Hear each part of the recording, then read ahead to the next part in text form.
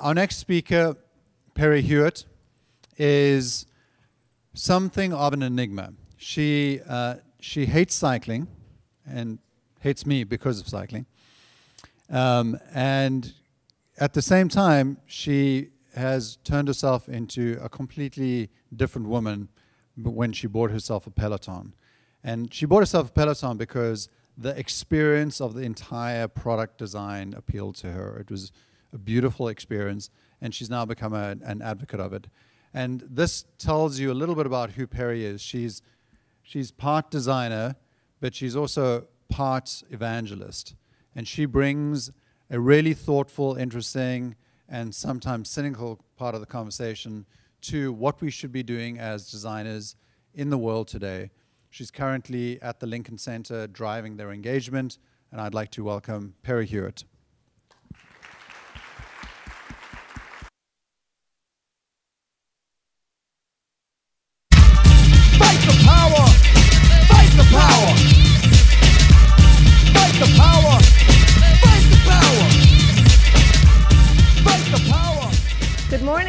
I'm all that stands between you and lunch, and I'm very cognizant of that fact. I'm also cognizant of the fact that I've never landed a single triple axel, much less 10 in a row, but I'm not bad with people. People, product, process, and pixels is sort of where I've made my game. And hippo wrangling is one of the things I'd like to think I'm good at and would like to make you all better at at the end of this session. So hippo wrangling, or stakeholder management, is never easy. It's a combination of art and science that involved in keeping executive leadership focused on the big picture without getting too mixed up in the product, which is all of your business. Luckily or unluckily, I've been wrangling hippos for quite a while. This is way pre-Peloton. This is you know, my factory career. Um, I'll start by taking you back to the 1990s when I worked in Europe for a trading company that did a lot of business with factories in the former Soviet Union. It was a really crazy time. It was the fall of the wall, new business and technology springing up everywhere. Lots of progress and a lot of change. Some of these factories existed in places that were called monotowns, places like Bielaya in Ukraine or Tolyatti in Russia. Does anyone know what Tolyatti is famous for? Anyone? Lada cars. Lada cars are the cars that populated the roads in the former Soviet Union, Eastern Europe, from the 1970s until the 2000s. And it was, it was quite a production. But in these towns, these monotowns, the factory is the town. A monotown meant that the guys, and they were all guys who ran the place, it was like a negative advertorial for the Me Too movement back in the 90s. Um, they ran the place where they were responsible for everything. It wasn't just like the factory and the processes and the products that came out of it. It was the people and the hospitals and the food supply and the education. It was the whole thing. These were the ultimate hippos, the ultimate highest paid person's opinion, because they had all the authority in the town. So my job, in part, was to work with these monotown managers to change how some of our processes worked. Back this one. Um, these men had some strong opinions, which being responsible for all aspects of a town of hundreds of thousands of people can do for you. They were charged with stewarding the ultimate big picture, but sometimes, unsurprisingly, they could get stuck in the details, involving changing how we communicated from this telex machine, which was, believe it or not, kind of amazing for its time, to the marvels of 1990s email. As you can imagine, people had opinions about this transition. So this is how we sort of communicated between the factories and the monotowns, the offices in London, the offices in Kiev, the offices in Almaty, and we had to make a big change involving technology. And I had to work on strategies that got these guys focused back on what they were supposed to do, run the entire town, and not become obsessive about the communications products we were trying to introduce. So whether you're talking about Soviet factory heads in the 1990s or thought leader CEOs today, I'd say the game is more or less the same. The title of this workshop refers to a CEO or a president or a CMO sitting next to a guy on a plane. Or maybe it was a digital conference for the cartoon here. I love that like there's a hundred priorities once your CMO goes to a digital conference. So that's a pretty good, pretty good statement about uh, what happens when they come back, right? Um, you know, it could be a conference, talking to his nephew who's really into computers. I got that one a lot. But bottom line, in one of these encounters, they got wind of a new technology, a bright and shiny object they'd like to see worked into your product. So this presentation is about how you manage up, how you defend the user experience of your product from the pernicious hippo. There are many ways to approach product stewardship in the face of executive involvement. These are the ones I've seen be most effective getting education on the agenda, defining the swim lanes, feeding your executive team, proactively feeding, not running from or delivering on demand, a regular manageable data diet, creating a safe space for experimentation, and most importantly, perhaps speaking so you can be heard. Not on this list, you will see, backing down, shoulder shrugging, or hand wringing. Software leadership is the future of virtually all organizations, and it's your opportunity as experienced designers to step up and future-proof the place you work. I'll lead with one of the most powerful, which may also be my, resume. Education is the vital component for helping executives understand the work that you do. As long as all you work on, whether you're you know, the UX designer or the product leader, is this mysterious black box with a pretty interface on the front of it, the more your executives will feel emboldened to change that face. You might think that you benefit from the information asymmetry. You know all these bright and shiny new things about how product development works with all the knowledge on your end, but that's really playing the short game and not the long game. Here's some of the methods I've seen be most effective in education. Workshops aimed at executives to drive understanding of strategy and process. Radhika will speak you know, in part to that later, but how do you help leaders understand why prioritization must be flexible and responsive to the market, and why HIPPOs are not as compelling, even though they think they are, as actual customer data? In these sessions, the executives show how, see how product team work derives from actual customers and market. Also listen, hear from them how they want ongoing visibility into the product process. Product and feature level storytelling, often fueled by user research. This is a real challenge. I have mixed feelings about, I feel like, you know, I'm an AA or something. Hi, I'm Perry, and I have mixed feelings about Agile. But, you know, uh, one challenge I've seen with these two-week sprints of Agile is the pace sometimes undertells the story of the process, the progress. Look, there's, there's a lot wrong with the big launch theory of waterfall development and oh my God, it's all pinning on this one day, two years, and one day in the future because that's what we promised the board. That's, I get it. That, that doesn't work really well. But what that does really do really well is align people around a narrative of progress. And I feel like this is something that often we underdo in organizations in the Agile two-week sprint methodology. People are busy working on measurable continuous improvement, which is great, but there's much less of a launch moment to align people around that story. For example, if the user research findings are shared at all, too often I see them shared as like a full day invitation to a busy exec or a large unedited, unedited video file passed around. I think there's a real opportunity in the middle in these two week sprints to think about how do we tell the small product and feature level storytelling. Is it a weekly email? Is it a monthly all staff moment? Is it a quarterly show and tell invitation? Find a way to tell those user research small stories we have all heard the CEO repeat the same damn story of like a customer anecdote over and over and over. again. It is your job to feed him or her those anecdotes.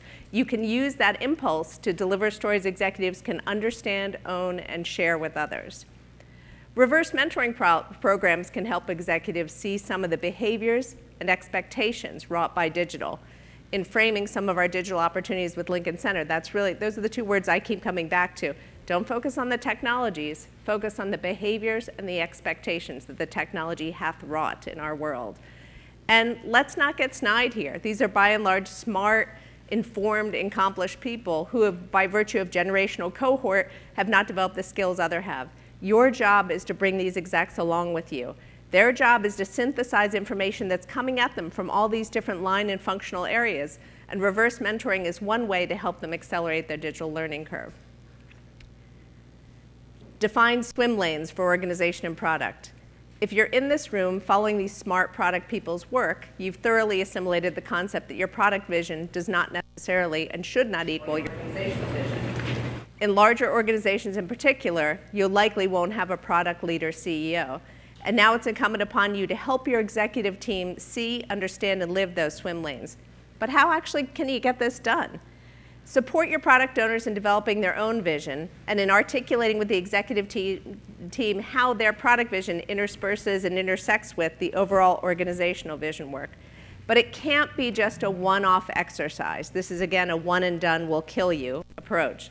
The product organization vision needs to be restated frequently and shared broadly beyond the product team to marketing who's developing the messaging, to IT who you're partnering with on some of the underlying technologies, and even to HR informing and onboarding new hires. This is one thing I actually see missed a lot, and I know HR works for the company, insert myriad HR jokes here. I will laugh along with you, I promise. However, I do think they are an underutilized partner in the kind of change management that we all need to make, including product teams. The more your peer departments understand how these two visions align, the fewer competing messages and priorities your executives will hear. Feed your executive team a regular and manageable data diet. First of all, does anyone not know what this is from? There's going to be a youth tax implemented on all of you immediately. For those of you born after Richard Banfield was able to buy his first drink, um, this is from a movie called This is Spinal Tap.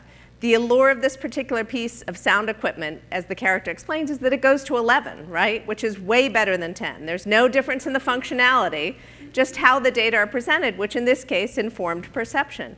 And while I wouldn't advise an 11 on the dial approach, well, maybe sometimes, it depends on the exec, I would agree that how you serve up the data matters.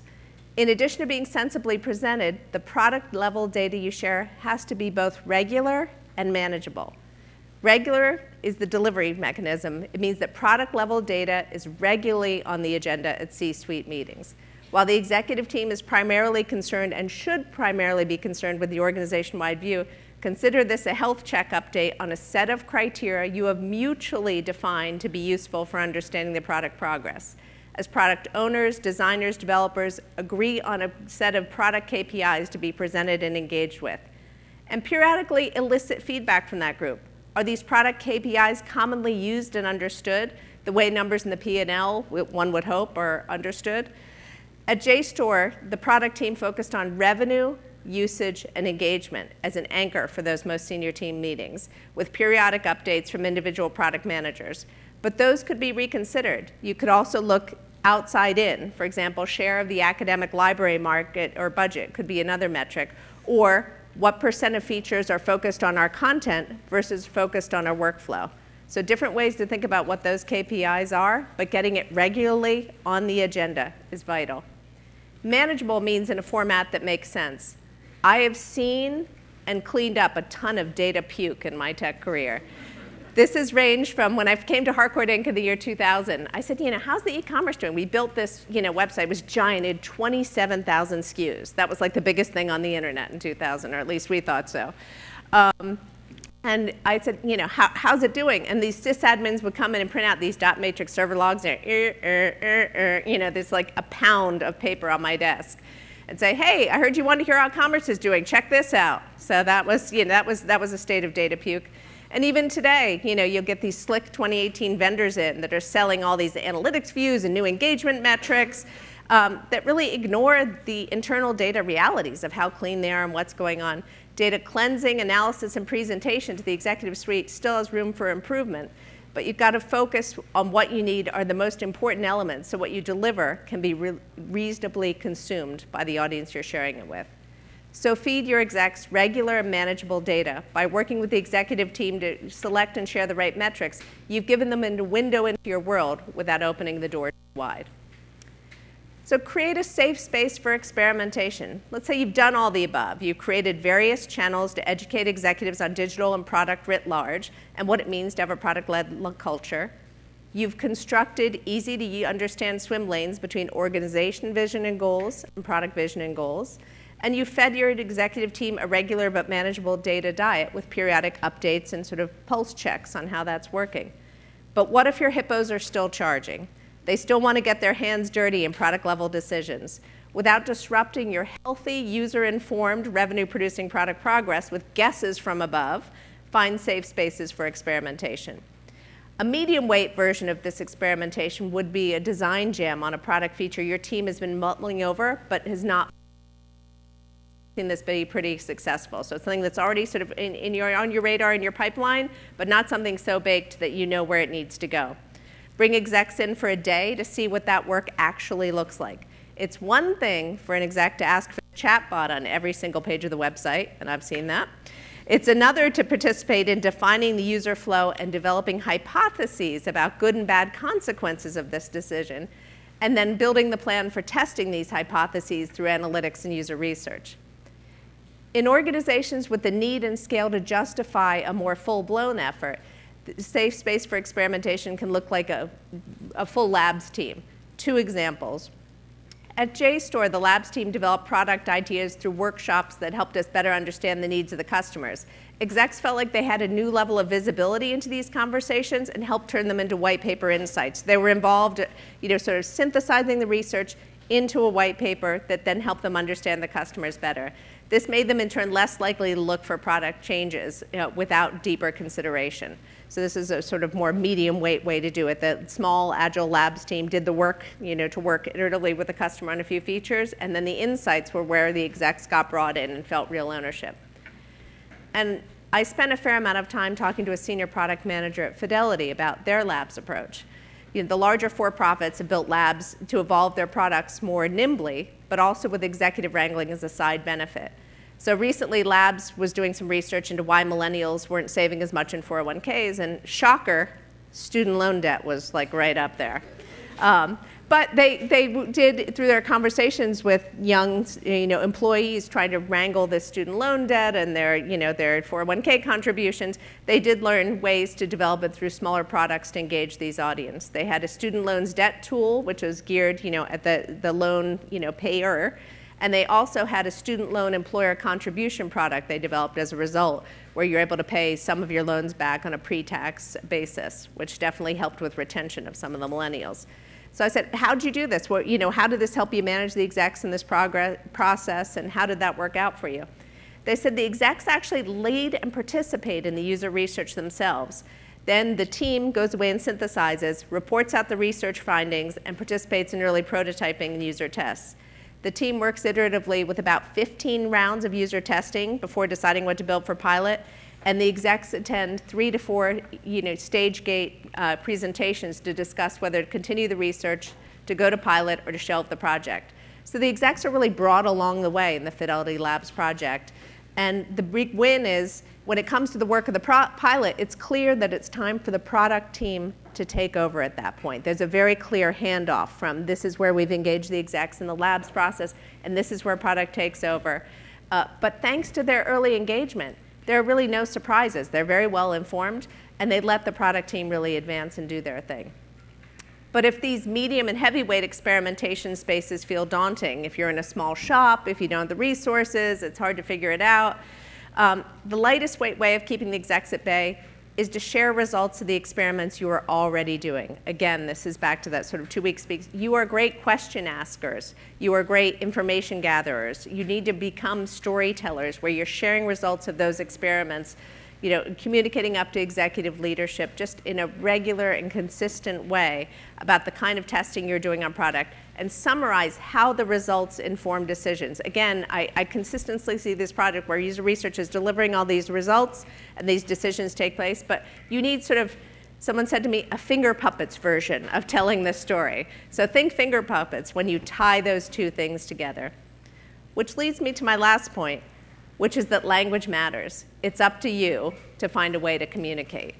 Jargon happens for a reason, I get it, right? We live in a fast changing world, it's acronym laden, Insidery language feels like it can help us communicate within our community, and you know, it's kind of cool, right? We know what all those letters stand for. And it really can work wonders. I mean, I've seen this too on the enterprise side, you know, to our tremendous detriment sometime, where an agency comes in with like a huge shock and awe deck, you know, the acronyms are flying, the ponytails are swishing, the, you know, I mean, it's all, it's all going on. There's a lot of, lot of video, a lot of shock and awe. Um, and it, it, does two things. It's really good at eliciting panic and funding, right? And that's kind of what the agency is going for but it's a poor ongoing approach to engagement for you all as product leaders, user research designers in engaging going on with your executive team. It won't help you support your, your product agenda. I got some great mentoring on this during my time presenting to donors and overseers at Harvard. You know, talk about uh, being vulnerable. After one talk, I was really pleased with myself. I thought, God, I, you know, not to like brag, but I kind of nailed that. And someone said to me, well, if you wanted the takeaway, you are really smart about technology, you've achieved that. But if what you wanted was for them to understand and support your initiatives, you failed completely. Harsh but fair. Speak so that you can be understood by more than your equally product and tech obsessed peers.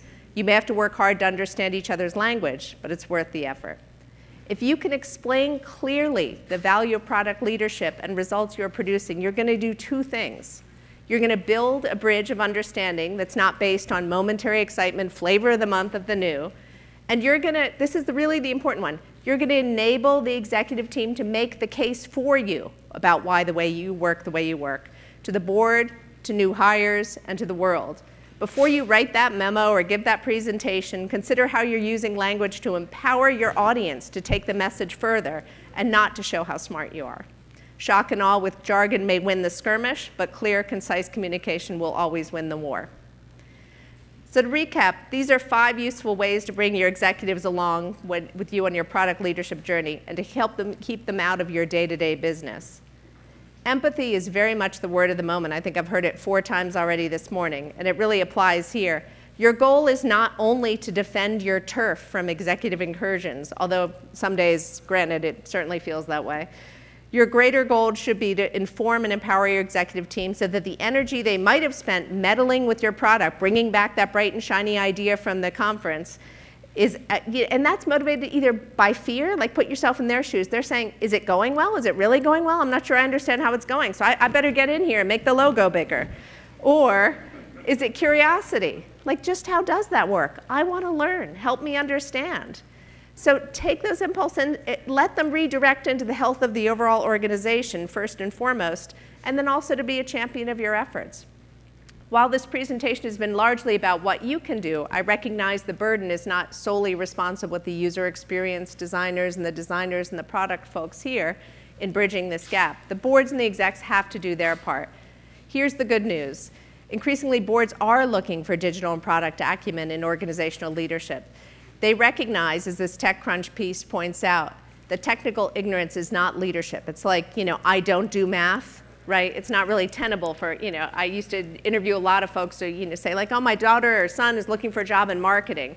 And, you know, two out of five would come in and say, well, I don't really like numbers, so I figured marketing is a good place to be. No, wrong answer. you need to like numbers, and if you're an exec, you need to not, you know, I don't do computers is not tenable. Um, you, but we're in the in-between now, right? When we're sort of transitioning the leadership of these organizations to understand, and both sides need to contribute to the solution. But the real silver lining is you are well positioned to bridge this knowledge gap. As Mr. Neeson would say, you all possess a particular set of skills. As designers and developers and product owners, you are natural persuaders. You're capable of asking the right smart questions. You're capable of synthesizing the answers in a meaningful way. And you're capable of crafting a user experience such that you can bring people along. Your job now is to use those skills for good internally to bring along your executive team. Internal communication is often underattended to, and it's a clear instance where an ounce of prevention, as cumbersome and tedious as it may seem to fast-moving product teams, is worth a pound of cure. All this communication, collaboration, and commitment to education is what will help you wrangle your hippos. It will keep them from asking for that feature they heard about on the plane at the digital conference, or maybe even from their nephew who's really good with those computers. Thank you very much.